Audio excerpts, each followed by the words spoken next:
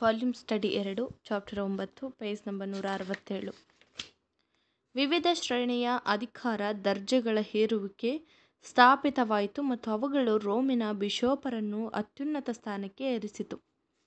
ಚಕ್ರವರ್ತಿಯು ನಂಬಿಕೆಯ ಅಂಶಗಳನ್ನು ನಿರ್ಧರಿಸುವವನಾದನು ಮತ್ತು ಪಾದ್ರಿಗಳನ್ನು ರಾಜ್ಯ ಸರ್ಕಾರ ಹೊರೆಗಳಿಂದ ವಿಮುಕ್ತಗೊಳಿಸಲಾಯಿತು. ಪಾದ್ರಿಗಳಿಗೆ ಅಷ್ಟೊಂದು ಅಧಿಕಾರ ನೀಡಿ ಅವರುಗಳು ಶ್ರೀಮಂತರಾದಾಗ ಪಾದ್ರಿ ಹುದ್ದೆಗೆ ದೊಡ್ಡ ಹಿಂಡು ಉಂಟಾಯಿತು. ಜನರು ಅವರನ್ನು ಈಕ್ಷಿಸಿ ನೋಡುವಂತೆ ಉನ್ನತ ಪಡಿಸಲಾಯಿತು ಧರ್ಮಾಧಿಪತಿ, ಅದು ಅವರ ಭಕ್ತಿ ಅಥವಾ ಮೇಧಾವಿನಂತಿದ್ದಲಾಗಿ ಬದಲಾಗಿ ಅವರಿಗಿದ್ದ ದೊಡ್ಡಸ್ತಿಕೆ ಪ್ರಭಾವದ ಕಾರಣದಿಂದಾಗಿ ಆಯಿತು. ರಾಜ್ಯದೊಂದಿಗಿನ ಕೀಳುಮಟ್ಟದ ಬೀಗತನದಿಂದ ಸಭೆಯ ನಿಯೋಗವು ಕಳೆದುಹೋಯಿತು. ಕ್ರೈಸ್ತ ಧರ್ಮವು ಆಡಂಬರವು ಶಾಸ್ತ್ರವಿಧಿಗಳನ್ನು, ವ್ಯರ್ಥವಾದ ತತ್ವಜ್ಞಾನವನ್ನು, ಮೂಢನಂಬಿಕೆಗಳನ್ನು ವಿಧಿ ನಿಯಮಗಳನ್ನು ಆಚರಿಸುವ ರಾಜ್ಯದ ಒಂದು ಸ್ತೋತ್ರವಾಯಿತು. ಈ ರೀತಿಯಲ್ಲಿ ಪೌಲನು ಮುಂತಿಳಿಸಿದಂತೆ ನಂಬಿಕೆಯಿಂದ ಮಹಾಪತನ ಉಂಟಾಯಿತೆಂಬುದು ಇತಿಹಾಸದಲ್ಲಿ ಸ್ಥಾಪಿತವಾದ ಸತ್ಯವಾಗಿದೆ. ಎಲ್ಲ ಇತಿಹಾಸಕಾರರು, ಊಹೆಯ ಅಧಿಕಾರ ಮತ್ತು ಮುಖ್ಯ ಪಾದ್ರಿಯರ ಪ್ರಶಂಸೆಗಳನ್ನು ಒಪ್ಪುವವರು ಸಹ ಇದಕ್ಕೆ ಸಾಕ್ಷಿಗಳಾಗಿದ್ದಾರೆ. ಕೆಲವೊಂದು ಹೆಚ್ಚು ಬೆಟ್ಟುಗಳು ಮಾಡಿ ತೋರಿಸುವ ಉದ್ಯೋಶಕ್ತಿಗಳನ್ನು ನೀಡಿರುವ ಸ್ಥಳಾವಕಾಶ ಇಲ್ಲದಿದ್ದಾಗಿ ನಾವು ವಿಷಾದಿಸುತ್ತೇವೆ. ಪತನಗೊಳ್ಳುವಿಕೆಯು ಶತಮಾನ ಕಾಲಗಳನ್ನು ಆವರಿಸಿದ್ದು ಎಷ್ಟೋ ಕ್ರಮೇಣಗತಿಯಲ್ಲಾಗಿದ್ದು, ನಾವು ಅದನ್ನು ಈಗ ಸಮಗ್ರವಾಗಿ ನೋಡುವವರಾಗಿದ್ದೇವೆ. ಆದರೆ ಆಗ ಅವರ ಮಧ್ಯೆ ಜೀವಿಸುವವರಿಗೆ ಅವುಗಳು ಹೆಚ್ಚಾಗಿ ಗಮನಕ್ಕೆ ಬಾರದೆ ಹೋಯಿತು.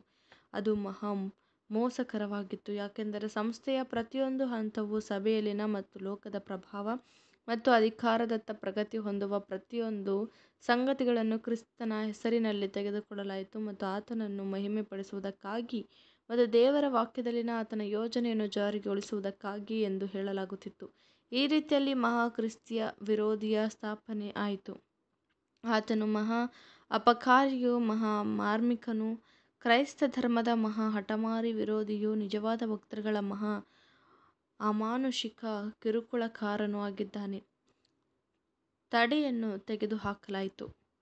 ಅಪೊಸ್ತಲನಾದ ಪೌಲನು ಈ ದುಷ್ಟ ತತ್ವಗಳು ಕೆಲವು ಸಮಯಗಳವರೆಗೆ ಗುಪ್ತವಾಗಿ ತನ್ನ ಕಾರ್ಯವನ್ನೆಸಗುತ್ತವೆ ಮತ್ತು ಅದೇ ಸಮಯದಲ್ಲಿ ಕೆಲವೊಂದು ವಿರೋಧಿಸುವ ಸಂಗತಿಗಳು ಅಡ್ಡಿ, ಅಡ್ಡಿಗಳನ್ನು ತೆಗೆದುಕೊಳ್ಳುವಂತೆ ಮಾರ್ಗದಲ್ಲಿ ನಿಂತುಕೊಳ್ಳುವವರಿಗೆ ಅದಕ್ಕೆ ಮುಕ್ತವಾದ ಮಾರ್ಗವಿರುತ್ತದೆ ಮತ್ತು ಕ್ರಿಸ್ತ ವಿರೋಧಿಯು ಪ್ರಗತಿಯ ತ್ವರಿತಗತಿಯಲ್ಲಿ ಸಾಗುತ್ತದೆ ಎಂದು ಮುಂತಿಳಿಸುವವನಾಗಿ, ಅಧರ್ಮವು ಈಗಲೂ ಗುಪ್ತವಾಗಿ ತನ್ನ ಕಾರ್ಯವನ್ನು ಸಾಧಿಸುತ್ತದೆ, ಆದರೆ ಇದುವರೆಗೆ ಅಡ್ಡಿ ಮಾಡುವವನು ತೆಗೆದು ಬಿಡುವ ತನಕ ಅದು ಗುಪ್ತವಾಗಿಯೇ ಇರುವುದು ಎರಡು ತೆಸಲೋನಿಕ ಎರಡನೇ ಅಧ್ಯಾಯ ಏಳನೇ ವಚನ ಎಂದು ಬರೆಯುತ್ತಾನೆ.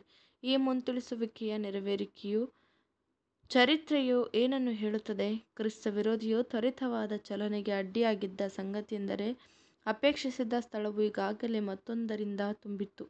ರೋಮನ್ ಚಕ್ರಾಧಿಪತ್ಯವು ಭೂಲೋಕವು, ಭೂಲೋಕವನ್ನು ಗೆದ್ದುಕೊಂಡು ತನ್ನ ರಾಜಕೀಯ ನಿಯಮಗಳನ್ನು ನೀಡಿದ್ದು ಮಾತ್ರವಲ್ಲದೆ ಅವುಗಳ ಧಾರ್ಮಿಕ ಮೂಢನಂಬಿಕೆಗಳ ಬಲವಾದ ಸರಪಣಿಗಳಂತೆ ಮಾನ್ಯಗೊಳಿಸಿ ಆ ಮೂಲಕ ಜನರನ್ನು ತನ್ನ ನಿಯಂತ್ರಣದಲ್ಲಿರಿಸಿಕೊಂಡಿತು ಬಾಬೆಲಿನಲ್ಲಿ ಅದು ಲೋಕದ ಮಹಾ ಆಡಳಿತಗಾರನಾಗಿದ್ದ ಕಾಲದಲ್ಲಿ ಹುಟ್ಟಿಕೊಂಡು ಪದ್ಧತಿಯನ್ನು ಅನುಸರಿಸಿತು. ಆ ಯೋಜನೆಯೇನೆಂದರೆ ಚಕ್ರವರ್ತಿಯು ಧಾರ್ಮಿಕ ಮತ್ತು ಪೌರಾಡಳಿತ ವ್ಯವಹಾರಗಳ ಉನ್ನತ ನಿರ್ದೇಶಕನೂ ಆಡಳಿತಗಾರನೂ ಆಗಿರತಕ್ಕದ್ದು. ಇದಕ್ಕೆ ಬೆಂಬಲವಾಗಿ ಚಕ್ರ, ಚಕ್ರವರ್ತಿಯು ದೇವಾಂಶ ಸಂಭೂತನೆಂದು ಕೆಲವು ಅರ್ಥದಲ್ಲಿ ಆತನು ಅವರ ಕ್ರೈಸ್ತರ ದೈವಗಳಿಂದ ಇಳಿದು ಬಂದವನು ಎಂದು ಭಾವಿಸಲಾಗುತ್ತಿತ್ತು. ಹೀಗಾಗಿ ಆತನನ್ನು ಪೂಜಿಸುತ್ತಿದ್ದರು ಮತ್ತು ಆತನ ವಿಗ್ರಹವನ್ನು ಆರಾಧಿಸುತ್ತಿದ್ದರು.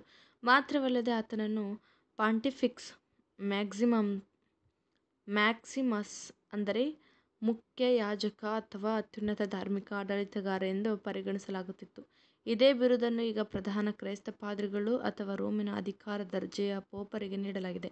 ಅಂದಿನಿಂದ ಈ ಕ್ರೈಸ್ತ ವಿರೋಧಿಗೆ ಹಿಂದಿನ ರೋಮ್ ಸಾಮ್ರಾಟನಾಗಿದ್ದ ಮತ್ತು ಪ್ರಕಟಣೆ ಹದಿಮೂರು ಎರಡರ ಹೇಳಿರುವ ಸಿಂಹಾಸನವು ಮಹಾ ಅಧಿಕಾರವೂ ನೀಡಲ್ಪಟ್ಟಿದೆ. ದೇವರ ವಾಕ್ಯವನ್ನು ಆಶೀರ್ವದಿಸಲಿ.